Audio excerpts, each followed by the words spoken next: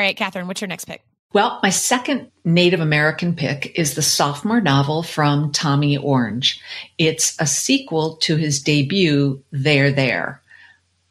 Sort of. The book is Wandering Stars, and it begins back in 1864 in the aftermath of a real event in American history, the Sand Creek Massacre in Colorado.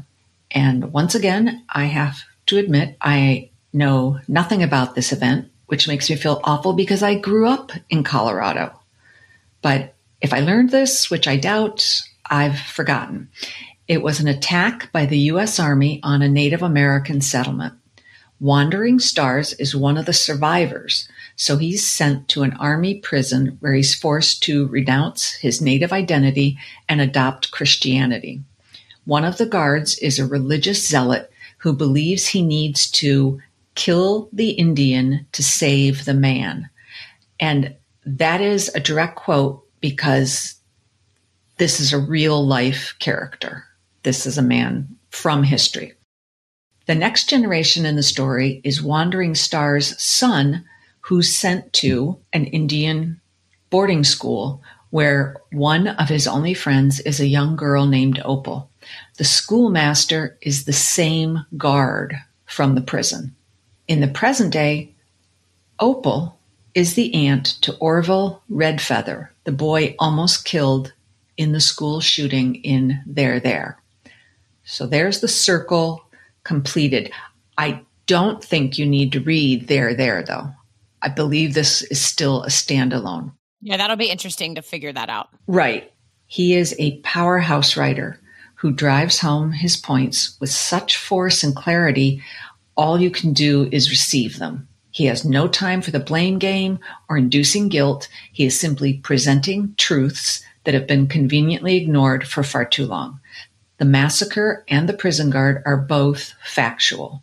And that he can do this in a way that keeps my attention firmly on the page, even when I'm uncomfortable, is one of the reasons I'm so happy he has a new book out. That's Wandering Stars, and it will be available on March 5th. I think this is one of the highly anticipated books of 2024. I bet it is. Did you ever read There There? I did not read There There. Oh. But I oh. know oh. it won a bunch of awards, or at least was in the conversation for a bunch of awards. That might be an interesting backlist one for you. It's been long enough. Yeah, for sure. All right. My next pick is my wild card pick. okay, here we go. It is possibly my weirdest pick of the day definitely my riskiest, but also there is upside, I think. And I will tell you why. so the book is Say Hello to My Little Friend by Jennine Capo Crucet, and it's coming out March 5th. The plot is completely out there. I'm going to attempt to succinctly describe it. well, the title is based on a completely. Do you know where it's from? Scarface. Yep. Isn't it Al Pacino? Yep.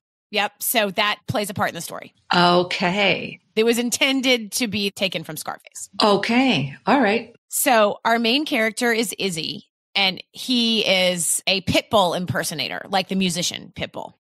But he has to quit this gig when he gets a cease and desist letter from the actual Pitbull's legal team. He then decides to fashion himself after Tony Montana instead of Pitbull. And for those who don't know, I didn't know actually to look this up. Tony Montana is the main character in Scarface. He rose from Cuban immigrant to Miami drug lord. Let's put that there. also, Izzy befriends an orca, which is a killer whale. What? That is housed in the Miami Seaquarium and delves into the underbelly of Miami to learn the truth about his escape from Cuba. Wait, so there's a lot of weird and random stuff going on here. I was going to say, how, yeah, how are these all going to link together? That is the big question. And that is why this is my wild card pick. I'll say. Okay. I realize that this plot seems like not up my alley at all, and it doesn't. Sarah, honestly, yeah, I cannot believe that this is on your list. So I, I'm going to get to why this is on my list. Okay. First of all, one other thing that makes me nervous about this book is that other than the premise is totally out there and could go really, really wrong or be amazing and be so fresh that there's no read alike for it, right? That's why it could go either way. It's not going to be in the middle, I don't think. So the publisher is calling this Moby Dick meets Scarface. I have no interest in reading Moby Dick ever. No one does. And I don't really generally love drug dealer plots. So I don't know. We'll have to see. But here's why I am open to this. First of all, I'm trying to be more open to ridiculous plots after loving Shark Heart last year. That's true. And there are particular reasons why this weirdness is appealing to me. Number one, I loved Capo Crucet's memoir, My Time Among the Whites. This is not her first attempt at fiction. She has written another novel, but this is my first time reading her fiction. She was born and raised in Miami to Cuban parents, and I'm interested in the perspective she'll bring to the story. The publisher is calling this darkly comic, which I do love. And the fact that this totally weird plot is darkly comic like makes it a little easier to swallow for me. The story is told from Izzy's and Lolita's perspectives. So there is a perspective told from an orca whale. Oh, kind of like remarkably bright creatures. Marcellus. Exactly. Okay. But that would normally make me nervous. But I have read a chapter told from Lolita's perspective already, and I really liked it.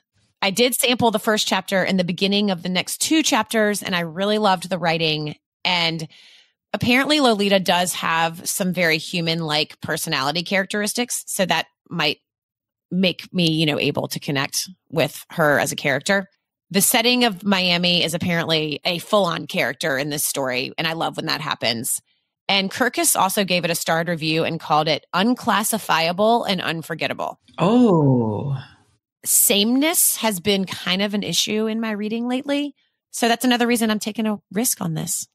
Fingers crossed it doesn't crash and burn. I'll say. Or get eaten by the orca.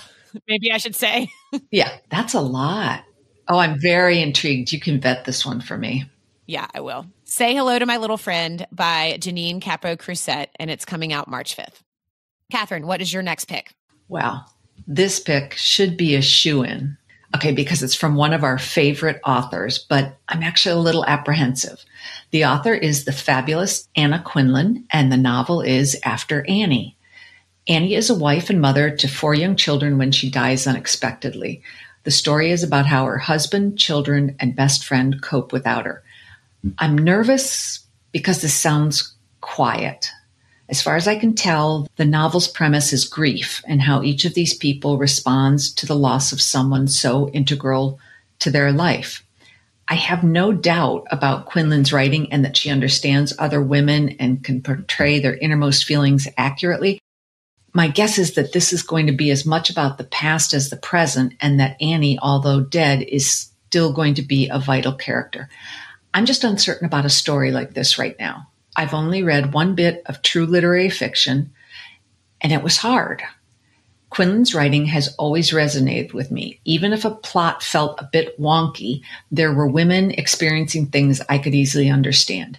I'm just not sure I have the emotional capacity right now for a novel about grief and loss. But given the compassion that comes through in Quindlen's writing, I'm hoping this will ultimately be about growth through adversity and how love shapes us. And that's after Annie, and it comes out March 5th. I'm obviously really looking forward to this too. I would look forward to hearing Anna Quindlen's take on grief and loss. That could be something that would feel really good to me right now. Exactly. Following the loss of my mom, right? I mean, I mean, it was like a year and a half ago, but that's not very long. I know, I know. Yeah. But I, I too am nervous because I thought her last novel, Alternate Side, was pretty boring. Right. Part of me wonders if, like, you know, some legendary authors get to the point in their career when they're still writing books, but nobody's really editing them or giving them feedback because they're so legendary. And so kind of the quality drips off a little bit. I hope she's not there. Right. Oh, me too. We'll have a good talk about this during the circle back. yeah. All right. My last pick is my second sports fiction of the day. This time we are focusing on the radical intimacy of physical competition. That's per the publisher. This is Headshot by Rita Bullwinkle. It's coming out March 12th and it's a debut. This story follows eight female teenage boxers as they compete for a national title in Reno, Nevada. And the author is a former competitive athlete. She was the captain of a Division One water polo team, which that is really cool. Actually, that's a very sort of out there sport. Right. especially for women. But she understands what it's like to be in intense competition. And I do wonder why she chose boxing. Right. Like I kind of would have be I would be interested in a book about women's water polo. right. I agree. But regardless, I love the way this is structured. Each chapter covers a fight at this tournament and it goes into the past and futures of the two competitors fighting. So you've got these fights and then you're getting the backstory as well as sort of what's going to happen with the two competitors. It explores the quote, desire, envy, perfectionism, madness, and sheer physical pleasure that motivates young women to fight. And I love this break from gender norms and celebration of personality traits that are sort of necessary for athletic success. Not sort of necessary, they are necessary for athletic success, but they are much more, quote, acceptable by society in men than in women.